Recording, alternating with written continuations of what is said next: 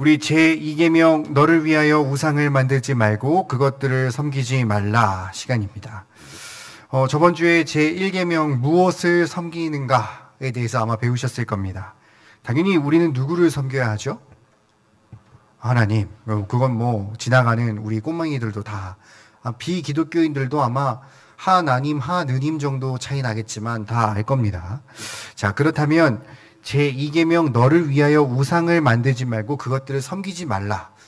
이 다, 이 제목이 여러분 저번 시간에는 무엇을이라고 했다면 이번 시간은 뭘 배우는 것 같으십니까? 딱 한 번에 나오시진 않죠.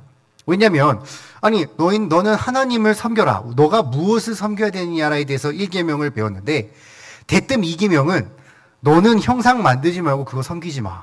이렇게 되는 겁니다. 그러니까 이제 조금 혼란스러울 수 있죠. 그럼 여기다가 제가 하나를 먼저 딱 걸면 하나님을 어떻게 섬겨야 하는가? 라고 물어본다면 대답을 어떻게 하실 겁니까? 이계명 제목이 나오면 됩니다. 하나님을 섬길 때 우상 만들지 말고 그거 섬기지 마. 이렇게 되겠죠. 그러니까 여러분들이 하나님을 어떻게 섬기는가에서는 사람들이 참 많이 이 우상, 형상을 만드는 일을 한다. 이걸 먼저 깔고 시작하면 되겠죠. 그러니까 우리가 이 어, 개혁주의 신학의 정통에는 규정적 원리라는 것이 있는데 좁게는 예배에 관한 것이지만 넓게 걸쳐서는 신앙의 전체적인 것으로서 그야말로 우리가 무엇을 하든 간에 규정적 원리가 뭐냐? 옆에 있는 장로님의 말에 조언에 따르는 것도 아니고 뭐 목사님의 사설적인 말을 따르는 것도 아니고 오로지 우리의 항상의 기준은 성경대로. 근데 그 성경의 가르침대로 가는데 그 가르침 중에서 가장 중요한 것 중 하나인 십계명에서 바로 우리에게 주는 이 말씀, 이계명 바로 어떻게 하나님을 섬겨야 하는지를 함께 이 시간 살펴보겠습니다. 이번 시간에는 먼저 직접적 의미, 그러니까 하나님께서 이 당시에 이 말씀을 통하여서 하시고자 했던 가장 단순한 원리가 뭔가를 본다면 이제 그 다음 주에는 확대적 의미, 오늘날 우리가 적용할 수 있는 것 두 주에 걸쳐서 한번 살펴볼 건데요. 첫 번째, 밑에 큰 글씨 보이시죠? 한번 읽어보겠습니다. 시작. 하나님을 형상화하지 말라. 형상화라는 말은 우리나라 잘 말 안 씁니다. 우리는 좀 영어를 많이 쓰죠. 옆에 보시면 이미징이라고 되어 있습니다. 그러니까 이미지화 시키지 말라는 겁니다. 하나님을 너의 눈에 볼 수 있는 이미지처럼 만들지 마. 이런 뜻인데 쉽게 말하면 아주 단순하게 하나님은 눈에 보이시는 분입니까? 눈에 보이시지 않는 분입니까? 보이시지 않는 분이죠. 육적이신 분이에요? 영적이신 분이에요? 영적인 분. 그러니까 우리가 영적이다라는 것에 하나에 국한했지만 사실 영과 육의 구분조차 할 수 없는 그냥 그 존재 자체가 완벽한 분이라는 것을 아마 우리가 알고 계실 겁니다.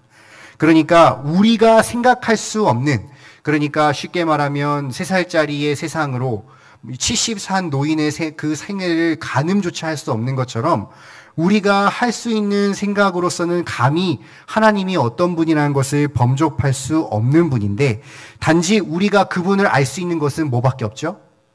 말씀. 그분이 알려주신 말씀밖에 없는 겁니다. 그러니까 우리가 스스로 말씀을 보다 보면 스스로 상상할 수밖에 없죠. 자, 한번 얘기해 볼까요? 하나님, 우리는 어느 형상대로 만들어졌죠? 하나님 형상. 그럼 아이들은 대뜸 뭐라고 합니까? 하나님은 눈 있고, 코 있고, 귀 있겠다. 왜? 우리가 하나님 형상대로 만들어졌으니까. 맞습니까? 맞아요? 네, 이거를 여기 중간쯤에 보시면 신인 동형론적 표현이다라고 되어 있는데요. 이 말은 무슨 말이냐면 우리의 이해를 돕기 위해서 그렇게 썼다라는 표현들을 말하는 겁니다. 예를 들어 볼까요? 하나님의 오른손이 우리를 구하셨다. 진짜 하나님의 오른손이 등장해가지고 그 큰 손이 이 이스라엘 백성들을 덮어가지고 보호한 겁니까? 아니죠. 하나님의 오른손이 구, 구, 도왔다라는 것은 우리가 이해를 돕기 위한 하나님이 불꽃 같은 눈빛, 눈동자로 우리를 부, 부르신다. 그 진짜 하나님의 큰 눈동자가 나타나가지고 그 우리를 지켜보신다. 이거는 아니라 우리가, 아, 우리가 눈은, 보통 눈의 기능은 쳐다보는 거고, 아, 그걸 쳐다보는 건데, 하나님이 그렇게 하듯이 하시는구나. 우리가 보통 오른손으로 가드를 하는데, 이 가드를 하듯이 하나님이 우리를 하시는구나. 라는 표현이라는 겁니다. 그러니까 하나님을 그저 형상하는 표현, 우리의 이해를 돕기 위한 신인 동롱적적 표현은 정도는 있겠지만 뭔가 어떠한 사람이 하나님을 이미지화 시키고 하나님을 뭔가 그림이나 신성을 부여하는 물건이나 사람이나 뭔가 장소를 부여한다면 그것은 오늘 말한 것처럼 곧 뭐가 되는 겁니까? 우상이 된다라는 겁니다. 그러니까 아주 쉽게 설명해 보면 아주 단 아주 단조롭게 아주 감사하게도 우리의 그 반면교사가 되는 종교가 있죠. 그게 바로 천주교입니다. 천주교는 그 딱 들어갈 때 뭐부터 누구한테 먼저 기도하고 갑니까? 마리아상. 마리아상이 그냥 단순 마리아상입니까? 아니죠. 그 사람들한테는 신이에요. 거기에 신성이 있어. 그러니까 거기에 신성이 있기 때문에 그분에게 하, 그분을 통해서 하나님을 보는 게 아니라 그, 그 지금 있는 것 자체에 내가 빌고 가는 겁니다. 기도를 하고. 또, 예를 들어, 어디를 그 좋은, 뭐, 예를 좋은 이렇게 이탈리아나 유럽을 가면, 우리 그 신학생들 지금 성지순례 하고 있는데, 가면은 거기에 뭐가 있다고 생각합니까? 내 영역이 는다라고 생각합니다. 근데 거기를 돌면 내가 더 신성해지고 믿음이 깊어지고 그런 것처럼 이런 조금이라도 유물이나 특정한 장소나 마리아상이나 성화나 뭐 이러한 여러 가지들을 우리가 신성이나 뭔가를 부여하는 순간 하나님께서는 그것을 우상으로 생각하신다라고 보시면 되겠죠. 그렇기 때문에 바로 우리 주변에서도 이런 일이 없는가를 생각해 볼 때 기독교인들이 가장 많이 하는 많이 실수라고 하긴 그렇고 가장 좋아하는 게 뭐예요? 갖고 다니는 것 중에 조그만한 거 십자가 많이 갖고 다니죠. 십자가를 바라볼 때 그걸 통해서 예수님을 바라보고 그냥 아 저 십자가에 예수님이 못 박혀 죽으셨지라는 그것을 기억하게 하고 내가 회개하게 되고 내가 감사 기도하게 된다면 아주 좋은 겁니다. 왜? 그게 십자가를 통해서 내 예수님을 바라보니까. 근데 그 십자가가 날 지켜준다. 내가 이 차에다가 차를 하나 뽑았는데 이 십자가를 달아놓으면 차를 지켜주실 거야. 라든가 이, 이 십자가가 나를 구해줄 거다. 나를 좀 더 뭔가의 의도가 있고 생각이 들어가고 신성이 부여가 되는 순간 바로 그것은 바로 곧 우상이 된다라는 것을 하나님께서는 분명히 하시고 질투하신다는 것을 기억하시면서 이러한 것을 조심해야 된다는 겁니다. 다음 장을 보실까요? 자, 그럼 해답이 나오죠. 다음 장에 우리 큰 글자 한번 읽어보겠습니다. 시작. 말씀을 청종하기. 자, 우리가 제가 항상 제가 여기 올라왔을 때 많이 이용하는 것 중 하나가 이 모세가 시내산에 십계명을 받으러 올라갔을 때 아론이 백성들과 함께 뭐를 만들죠? 금송아지. 제가 이 얘기를 참 많이 씁니다. 금송아지라는데 다시 말씀드리지만 그 당시에 그 중동 사람들이 가장 성스럽게 생각했던 동물은 뭐였을까요? 소. 지금도 소는 안 잡아먹잖아요. 그죠? 소. 그 중에서도 더 귀한 건 뭐예요? 더 그 소, 늙은 소가 중요할까요? 어린 소가 중요할까요? 당연히 송아지가 중요하겠죠. 그럼 그 사람들한테는 가장 값비싼 금속은 뭐였을까요? 금. 자, 금과 가장 자신들이 생각할 수 있는 좋은 형상. 그리고 그 송아지를 만들어서 뭐라고 불렀을까요? 하나님이라 불렀습니다. 그러니까 그 사람들은 단지 불안했을 뿐이에요. 우리가 다른 신을 섬기자 이게 아니라 우리가 모세 떠났으니까 우리 이제 다른 신 섬기자 이 뜻이 아니라 여태까지 하나님 봐왔고 하나님 기적했는데 막상 모세가 없으니까 내가 불안한 거예요. 야, 이 모세 가갖고 비명상한 거 아니야? 어디 절벽 떨어진 거 아니냐? 굶어 죽은 거 아니야? 막 불안하기 시작하니까 여기까지 끌고 어디로 가야 될지도 모르는데. 그러니까 아론이 너무 약하니까 그럼 너를 대신해서 우리가 의지할 수 있는 하나님 형상 하나 만들어 달라. 했을 때 맞는 게 금송아지입니다. 그리고 여호와라고 다음 날을 여호와의 날로 지정했듯이 그를 하나님이라고 부를 만큼 그들에게는 어떻게 보면 하나님을 향한 마음이었죠. 하지만 하나님께서 그들을 다 어떻게 하셨습니까? 모세가 돌아오는 날 동족들에게 죽임을 당했습니다. 그러니까 바로 이러한 것처럼 하나님을 우리가 섬긴 데서 잘못 섬기는 것은 섬기지 않은 것보다도 못하다라는 것을 분명하게 보여준다는 것이죠. 하나님이 우상을 섬기지 말라는 것은 다른 종교를 말하는 것이 아니라 우리 안에 진정 하나님이 참 하나님인지 하나님이 정말 내가 바라는 대로 섬기고 있는지를 항상 너의 마음속에 점검해 보라라는 뜻인 겁니다. 그렇기 때문에 하나님이 원하시는 방법은 뭐냐? 그런 감각적인 것, 우리가 시각으로 보고 만지고 느끼고 이런 감각적인 것을 바라신 것이 아니라 하나님이 원하시는 건 언제나 말씀을 듣고 이해하는 이성적인 것을 바라신다는 것입니다. 언제나 하나님 보시면 신의 산에서 임재 당시에 말씀을 들려주셨고 그 말소리 형상을 보자 그리고 언제나 그 말씀을 통해 그 뜻을 전했듯이 언제나 하나님의 섬김의 핵심은 말씀의 전파와 말씀의 청종이라는 사실을 꼭 기억하시면 되겠지요. 자, 여기까지가 오늘의 본문이고 그 밑에 있는 것은 뭐냐면요. 우상 숭배에 관련된 얘기입니다. 그러니까 쉽게 말하면 제사죠.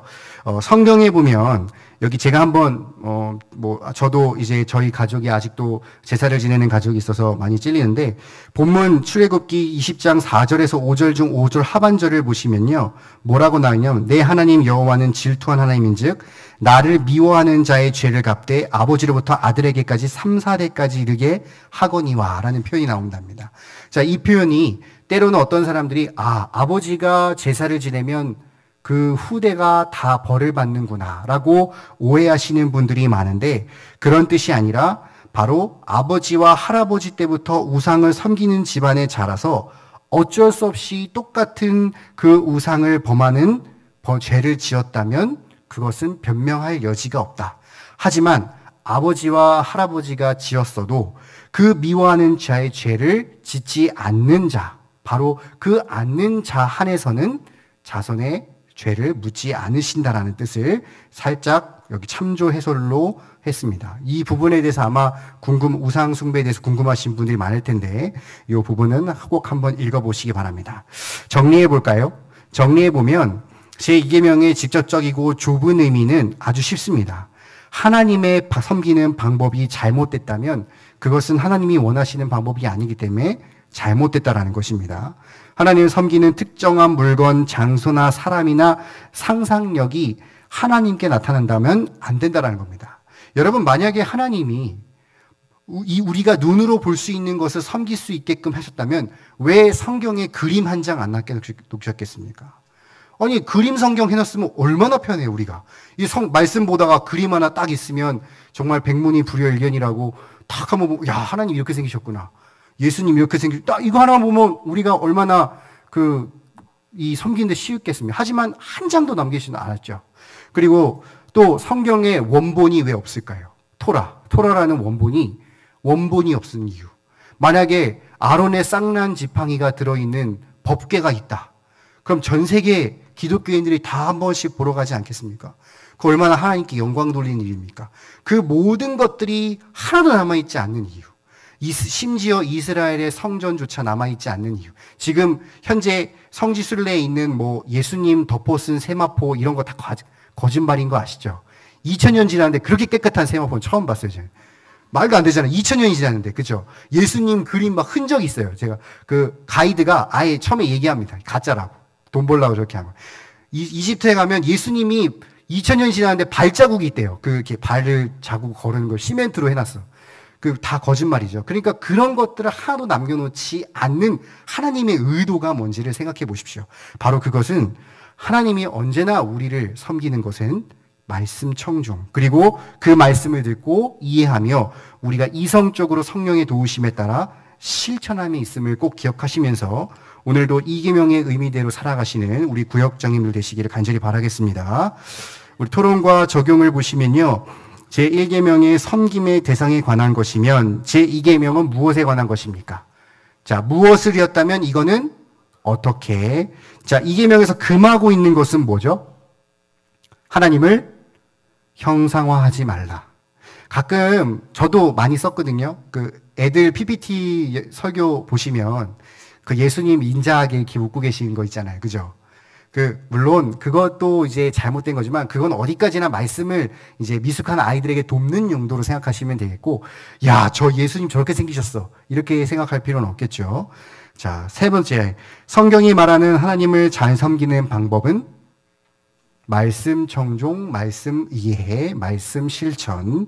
자, 네 번째, 20절에서 20장 5절, 아까 말했던 그 우상 제사를 지내는 3대가 멸하는 것 어떻게 되는지 한번 읽어보시고 바로 그 우상이 그 대에서 끊어진 것이 중요한 것임을 다시 한번 구역원들과 함께 나누시면 되겠습니다. 우리 기도 제목 한번 보시고 함께 꼭 기도해 주시면 감사하겠습니다.